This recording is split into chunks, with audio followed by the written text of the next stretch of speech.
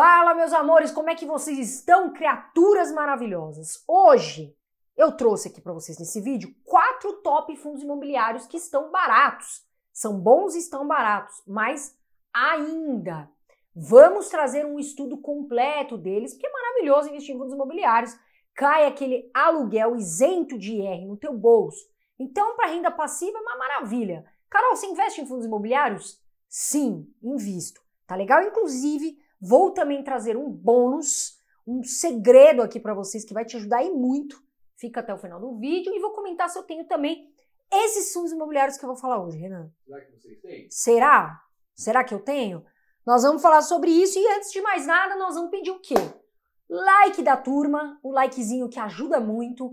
Vamos pedir também para você, de repente caiu aqui de navio, de balão aqui no vídeo, é muito bem-vindo e bem-vinda, já se inscreve, não basta só o like, tem que se inscrever e ativar o sininho para ficar por dentro de novos conteúdos que vêm. Então é bastante coisa e comenta aqui embaixo também que eu é para compartilhar aqui com a galera a sua opinião. É só isso, Renanzinho?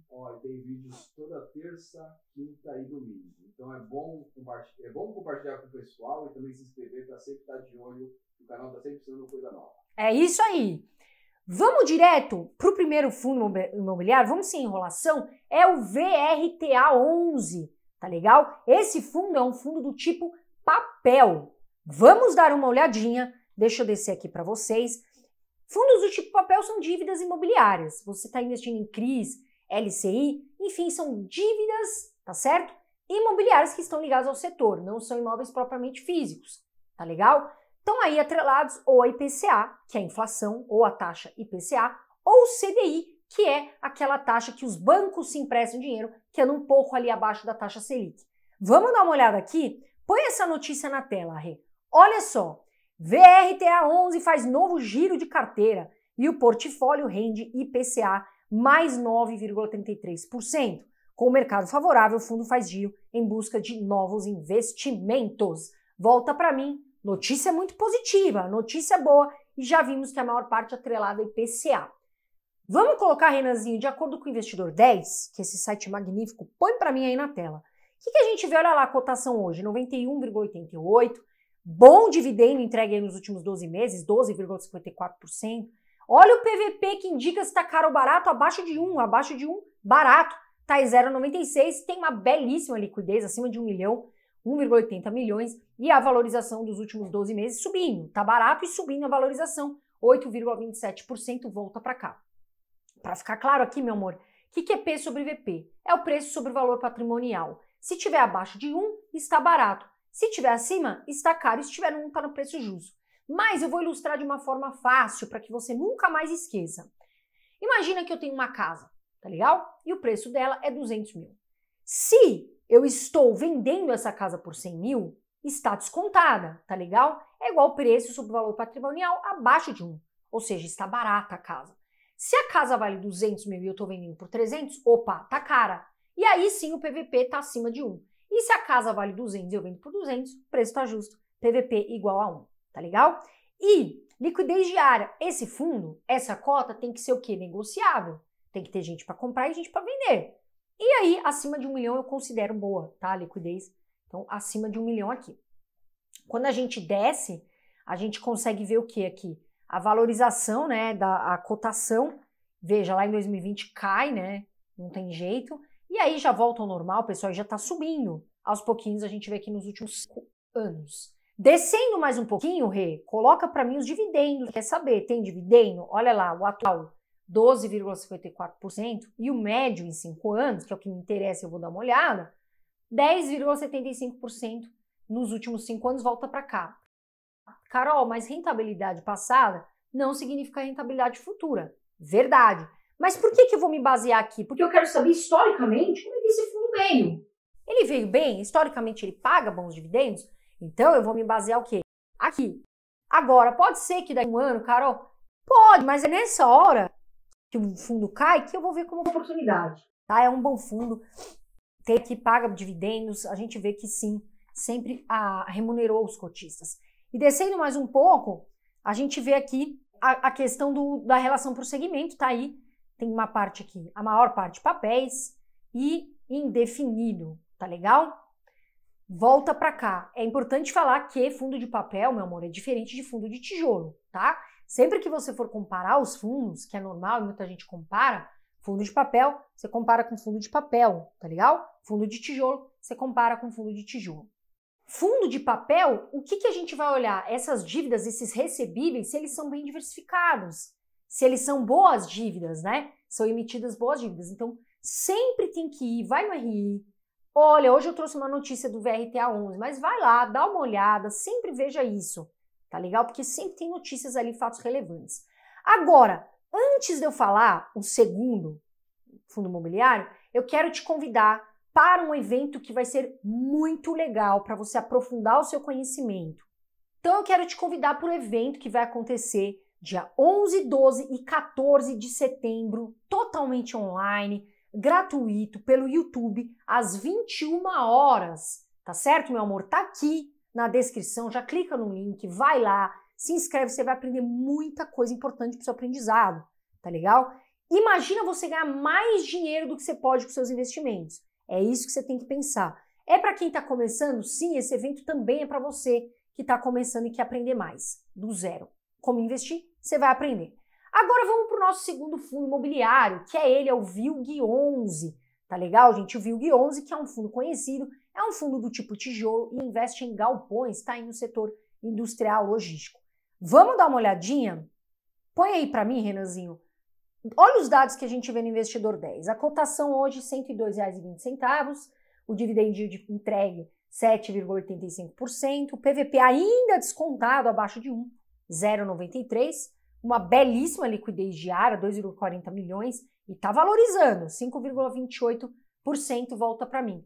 Carol, P sobre VP, o que é? Caiu aqui, vai lá no primeiro, eu expliquei certinho o que é P sobre VP no primeiro fundo imobiliário, sem preguiça, vai lá estudar, tá legal? Vamos dar uma olhadinha aqui nos últimos cinco anos, a cotação, a gente vê que ele, né, em 2019 tem muito investidor chegando na bolsa, investindo nos fundos imobiliários, daí cai, derrapa em 2020, e vai voltando ao normal, ainda descontado a cota, né? Ainda descontada do valor que já foi.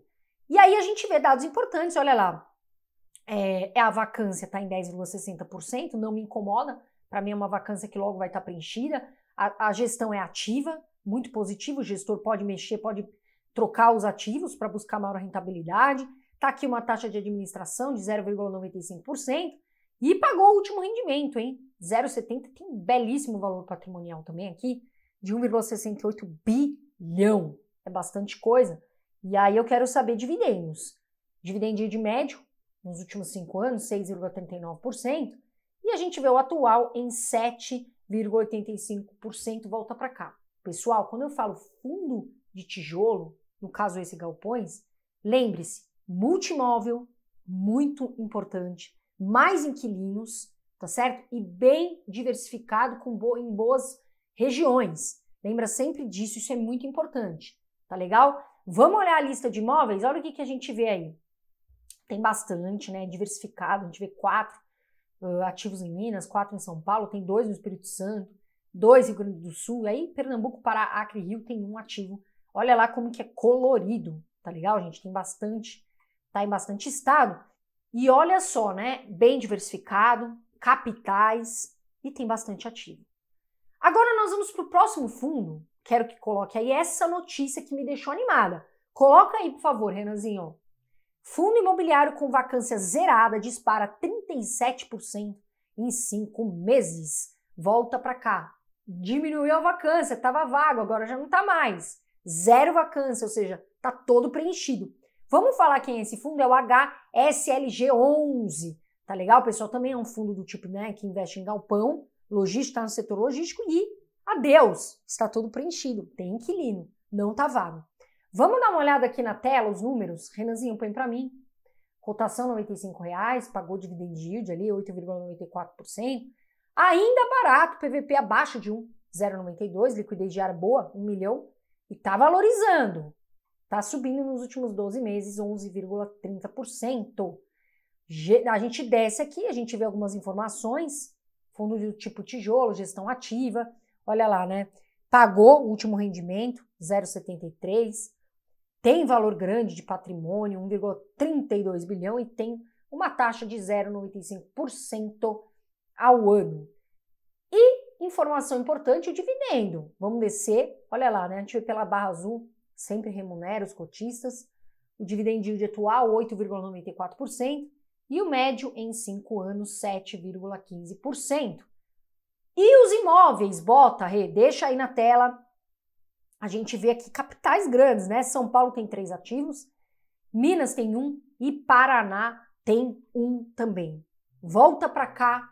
E aí vamos falar o nosso último fundo imobiliário top e que tá barato. Isso que é bom. É fundo bom e é fundo top e é fundo barato. Que é ele, ainda barato.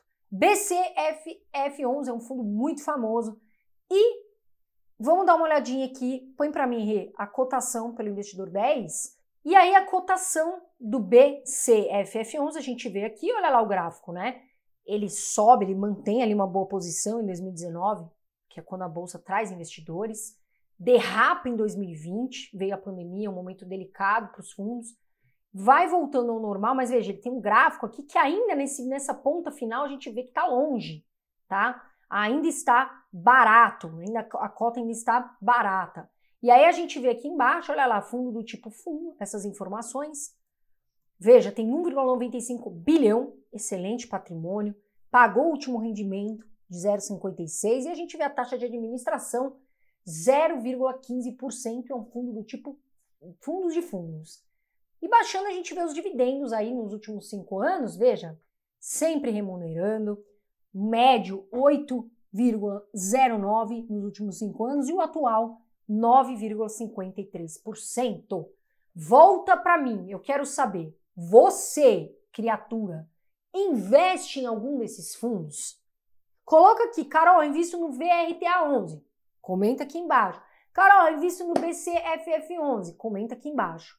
E aí você vai me perguntar se eu invisto e eu vou te falar que sim, eu tenho na carteira o VRTA11 e também o VILG 11 que nós falamos hoje. Tá certo? Agora, eu falei para vocês que eu tenho um presente. Eu sempre vou trazer bônus para vocês aqui. Por quê? Porque vocês merecem e eu quero que vocês estudem. Três fundos imobiliários que tendem a se valorizar agora, que tendem a explodir agora com a baixa, né, com a redução da taxa Selic. São três fundos, é um relatório completo e ó, na faixa, gratuito. Tá certo, meu amor? Vamos deixar também, Renanzinho, tá aqui na descrição, tem um link, vai lá, lê esse relatório que é na faixa e são três fundos imobiliários que tendem a explodir, tendem a se valorizar nesse momento. Tá legal, meus amores? Eu sempre falo, voa Brasil, nós vamos voar muito ainda. Quem investe futuro agradece. Um beijo de luz, fiquem com Deus.